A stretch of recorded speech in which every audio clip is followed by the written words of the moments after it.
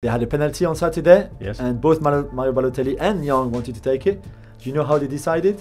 Rock, paper, scissors. Exactly! Yeah. Shifumi and Ban Young won. He scored the penalty. Shifumi. Yeah. How do you I say believe that's the real name, no? Shifumi? Because everywhere we say. Rock, paper, scissors. Yeah. Well, in oh, Germany oh. we say schnick, schnack, schnuck. no way, that's, That's not the true. winner. Why? Why schnick, schnack, schnuck? Couldn't tell you. Schnick doesn't mean anything. Schnack neither? Schnuck? No? Okay. Jankin Pong. Is that Shifumi Is that in Japanese? Japanese? Japanese. what does that mean? no, no idea. In Spanish? Piedra, papel o tijera. That's quite nice. Yeah, as like in. English. Yeah, like Yeah. same in French. Italian? Sassa, carta, forbici. There you go.